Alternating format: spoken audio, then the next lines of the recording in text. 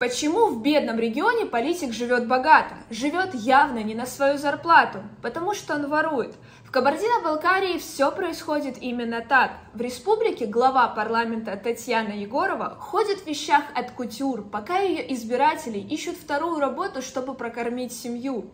Но семьи Егоровой это не касается. Ее муж и дети сидят на очень прибыльных местах.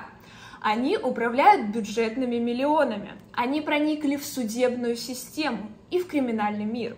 Сегодня поговорим об очень наглой депутатке, которая к реальному депутатству никакого отношения не имеет. Привет, меня зовут Анна Мендель, это канал Акценты, и сейчас вы узнаете, кто из семьи Егоровой раздает госконтракты нужным фирмам, а кто отмазывает от уголовных дел.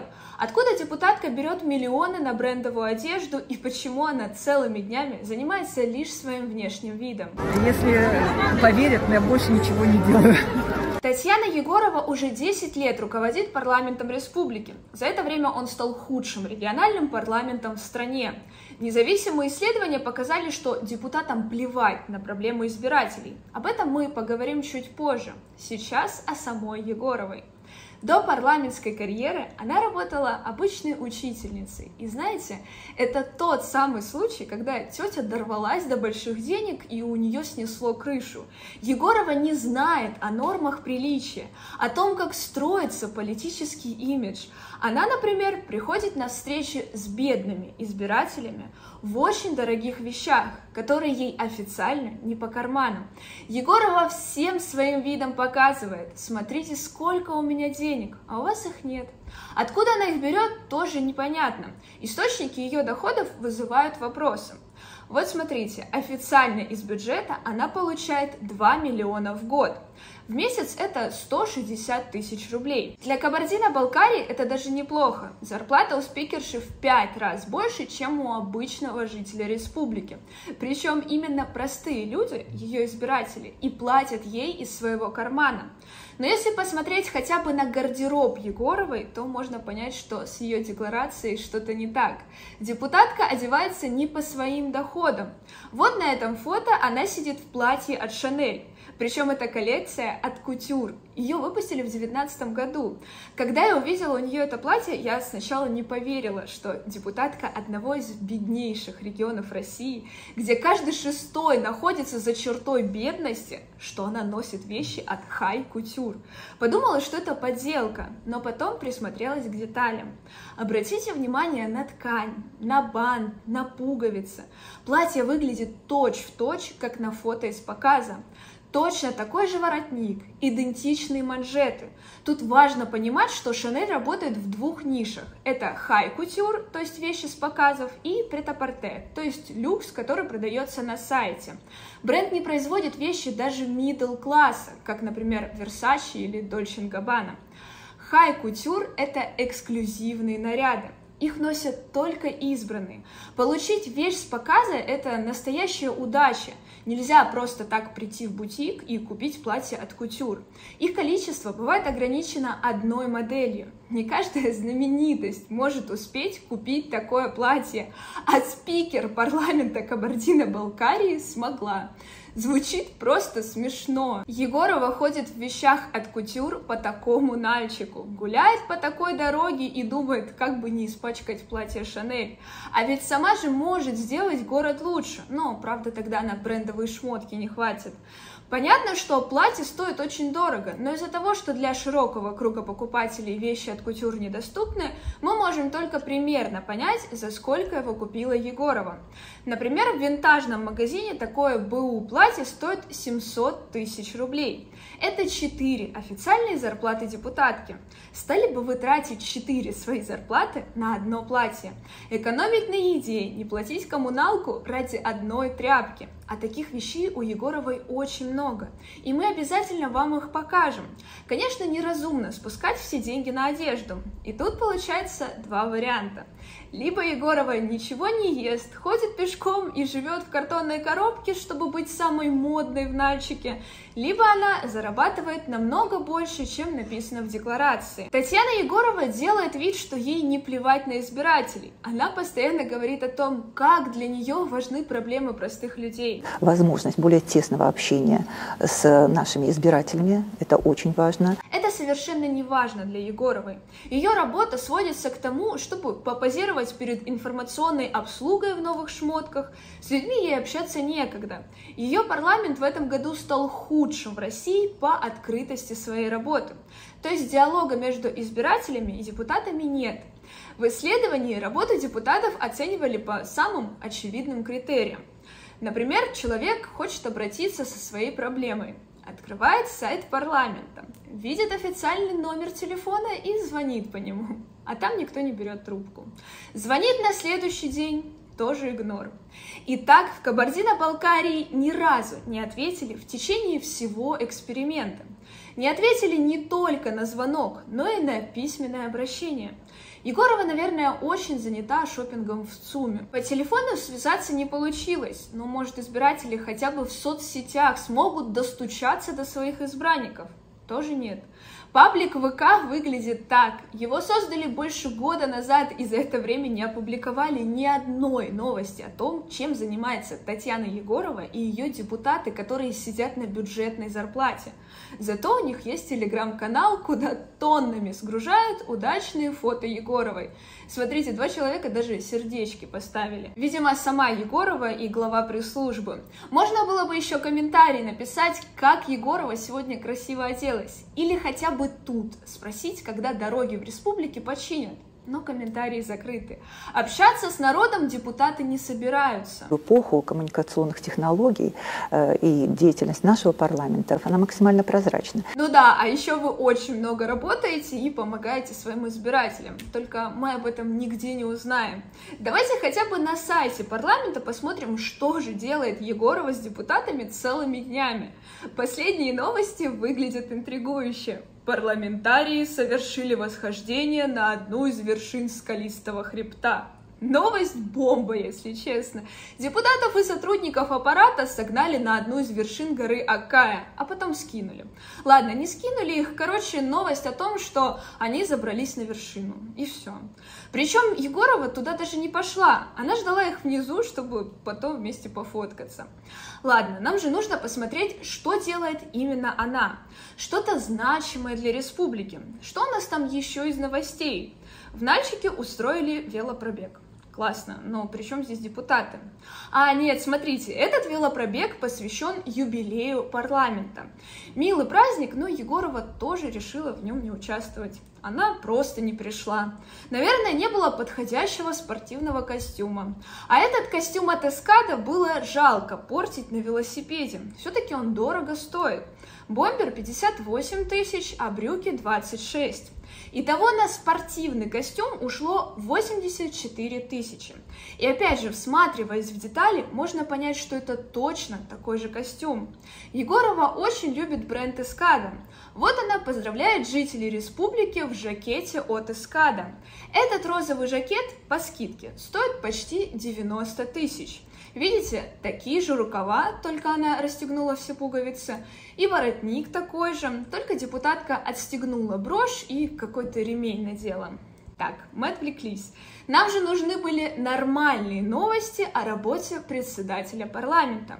Должны же мы знать, за что ей деньги платят.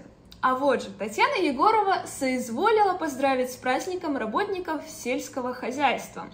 Депутатка заявилась в костюме от итальянского модного бренда и сказала пару общих фраз. Ее жакет от Пинка стоит 39 тысяч, а юбка 36.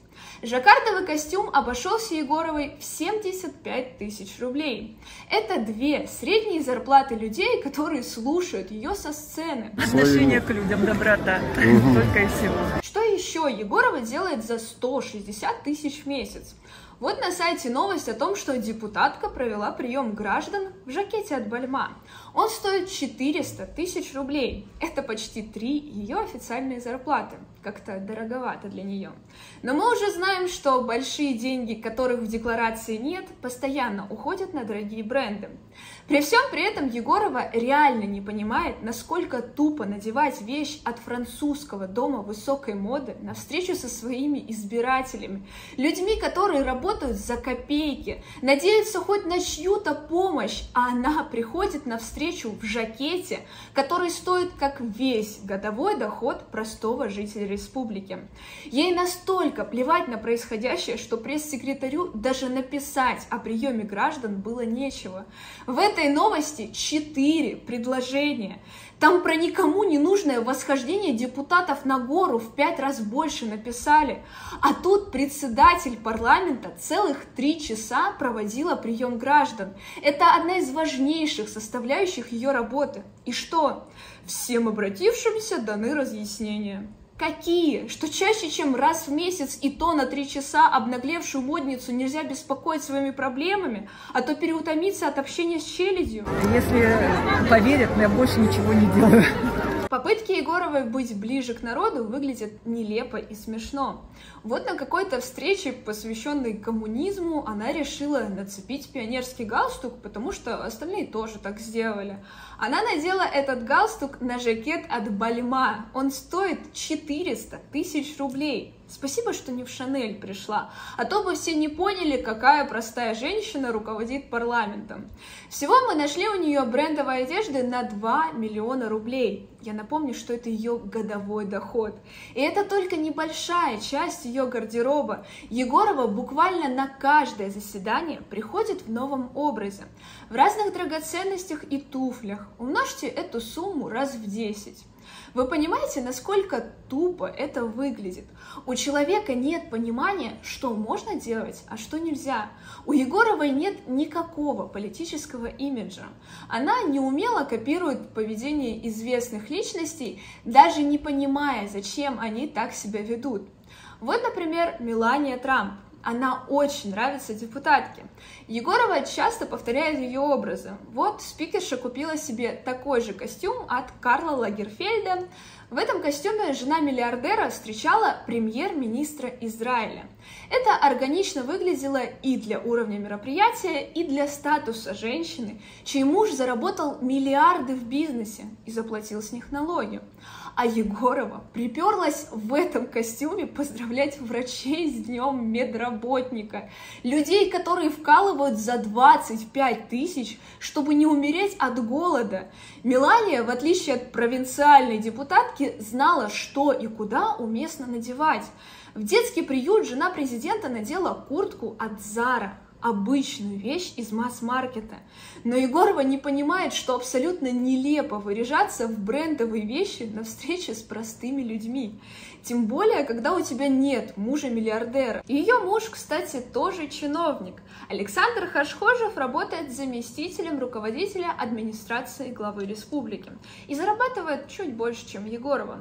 То есть муж работает в администрации, а жена в парламенте. В ее задачи в том числе входит контроль исполнительной власти.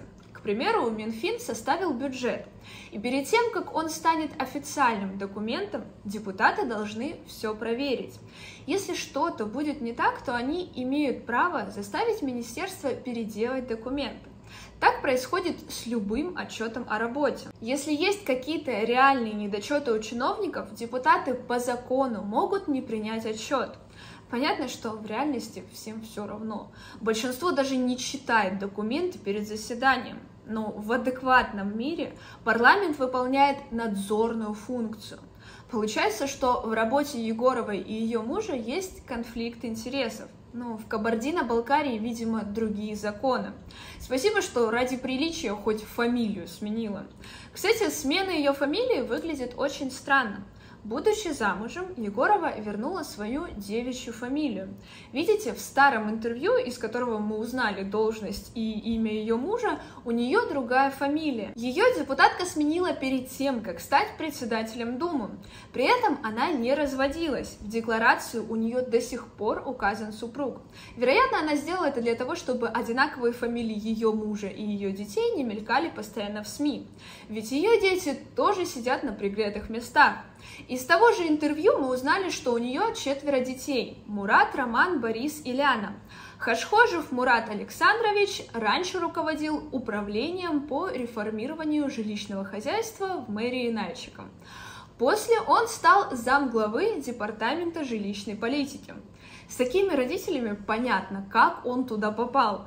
Клановость в республике давно стала нормой. Там глава свое место от отца по наследству получил. Кстати, до того, как Мурат стал чиновником, он был директором фирмы по вывозу мусора «Эколог Плюс». Эта фирма работала по госконтрактам с больницами и поликлиниками республики. Ей из бюджета заплатили больше 18 миллионов.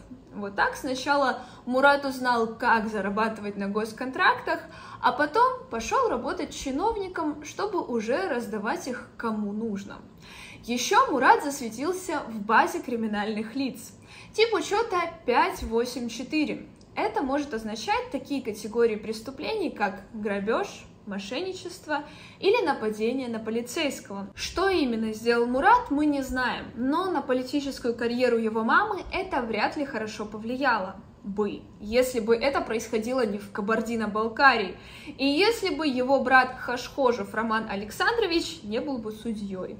Он мировой судья судебного участка номер 14. Удобно родители устроили своих детей. Один присосался к бюджету, другой вынесет нужный приговор, если что. Мама с папой могут спать спокойно, пока везде есть связи. Ни у кого не возникнут вопросы ни о конфликте интересов, ни о том, откуда председатель парламента берет деньги на элитные вещи, почему ей глубоко плевать на ее избирателей и почему она целыми днями выбирает себе новые луки. Я больше ничего не делаю. И эта женщина представляет народ.